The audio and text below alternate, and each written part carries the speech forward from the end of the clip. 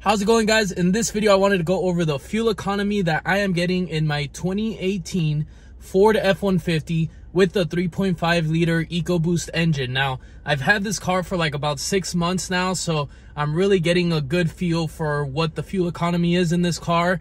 And uh, over six months, I can really go into some of the averages that I've been getting and uh, fuel economy wise and just uh, kind of dive into the numbers. So stay tuned. Now, before I get into some of the numbers here, let me start off by saying this is the 4x4 model of the F-150. It's not the two-wheel drive model, uh, the rear-wheel drive. Uh, so the reason I got the four-wheel drive to begin with, I know this might sound a little bit stupid to some people, but I live in Florida. I have no use for four-wheel drive. I'm not coming up any steep inclines or driving in snow or anything like that. Um, but these cars, if you want to launch them, if you want to have any sort of traction and you're going to be modifying these cars, um, it is really absolutely impossible to get traction on a two-wheel drive, rear-wheel drive model of this car unless you're putting like drag tires on the back, um, which I did not want to do. So I really wanted the four-wheel drive uh, model of, or 4x4 model of this car um, so that I can get traction because these cars, when you launch them in 4x4, I mean, they hook with street tires, even if you have it tuned, they hook amazingly. So that is the reason I have a uh, 4x4 F-150 is to launch it and still get traction. Um, but basically, it has a lower uh, fuel economy rating than the two-wheel drive model. Um, so that's going to affect it a little bit. But even then, I was really surprised with the fuel mileage uh, fuel economy that I'm getting in this car, considering it is a really massive truck. I mean, a lot of people, when they get into this car, they're like, man, the, the, the cabin inside is so spacious and so big.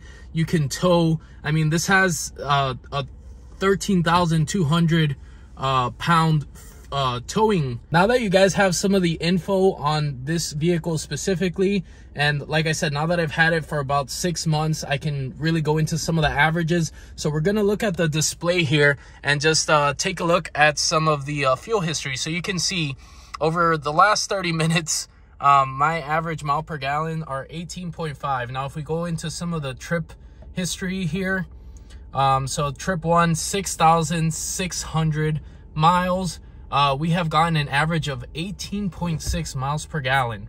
Um, over the last 9,100 miles, 18.1 miles per gallon. So considering the size and the uh, space that this truck has, I can live with 18 miles per gallon. I mean, that's that's pretty decent. I mean, if you consider the fact that there is, you know, sedans and much smaller cars that are getting 18 miles per gallon, I mean, that's that's not terrible. So I'm really happy with this car and I drive the crap out of it. Like I do not uh, treat it very nicely. I mean, in regards to um, just performance wise, I'm not trying to achieve maximum miles per gallon.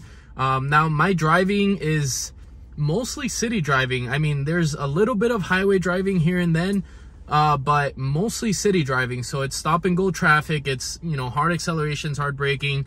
Um, so it's, you know, pretty, pretty on par with what, uh, Ford estimates this car gets. Now I have a cold air intake on this car and I did the VTA mod, the vent to atmosphere mod. Uh, where you disconnect the uh, tube that goes into the into the blow off valve so that you can hear it. And let me tell you this, once you do those mods, your fuel economy is gonna go down because it's fun hearing the blow off valve making its little, you know, swooshing noise.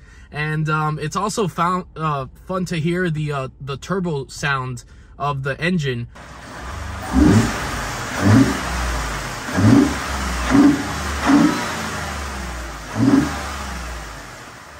Um, so when I installed the cold air intake, I actually removed the little uh, turbo silencer wheels that they put, that Ford puts inside of the uh, engine right at the beginning of the intake.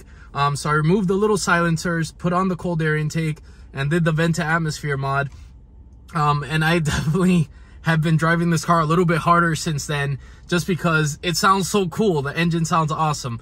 And um, there's no exhaust on this car, so it's literally super silent in the back from the exhaust noise. So all you hear is engine and uh, turbo noise and blow off valve noise, which I will admit has brought down my uh, fuel economy because it's just so fun to, you know, just accelerate hard and then let off and hear that blow off valve and hear those turbos spooling.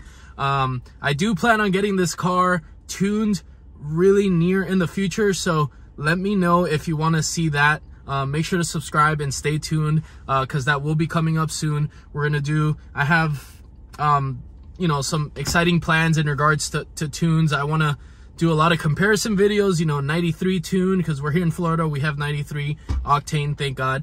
Um, so 93 tune, uh, E30 tune, E50 tune, maybe E85. I don't know. We'll see what happens. Um, but let me know if you guys want to check that out. And if you found this video helpful, um, let me know in the comments below because I thought when I was researching these cars, um, I looked into fuel economy a little bit, but again, that was not my primary concern for getting uh, this engine and this car was not fuel economy. But it's nice to know some real world numbers and not, you know, reading off of a piece of paper from what Ford gave us. Um, so yeah, make sure to hit that like button if you like the video and I'll catch you in the next one.